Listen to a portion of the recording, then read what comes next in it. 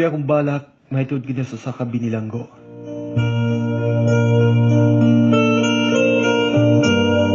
Di ko na maihap ang kadaghan sa mga gutlong ng libkas.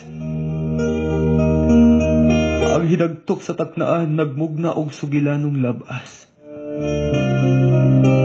Ug ang mga damgo sa kaugmaon, nga sa luha gibanlas.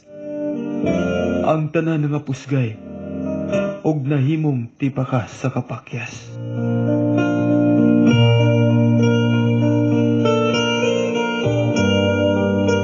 Isok na ko kining prinsipyo uban ang tumang pagmahay. Ngano bagayod kaniman ang dalan nga akong gisubay. Ang kala sa sa kanako ipasangil daw ikamatay. Mao'y milusab sa tigbawon sa gihaguan kong pagambalay. Unsaon ko baka nga magbalinaw ning kinabuhiya.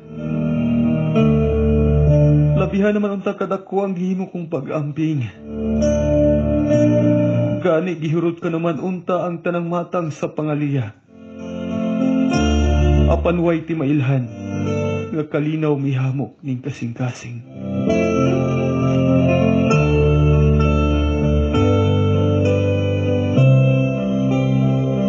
Daw di ko na maantos ang kasakit ning akong pagkabilanggo. Kamingaw sa banay, mupukaw sa imong katulugon. Kapinta sa kalikutgot, sa mga damgo maoy mo butho.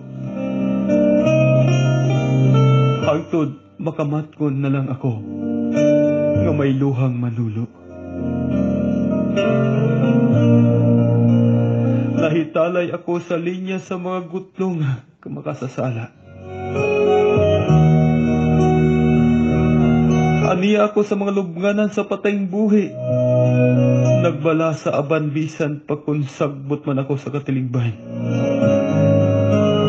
Bugtawon ang hustisya.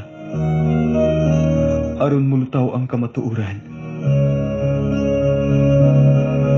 Tungod sa pasangil na bilanggo ako. Naway kasalanan.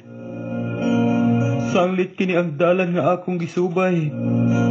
Niining kalibutana. Ang tusod bisan sakit og lisod dawato ning baltian. Itugyan na lang kay bathala ning mapait kong gidangatan.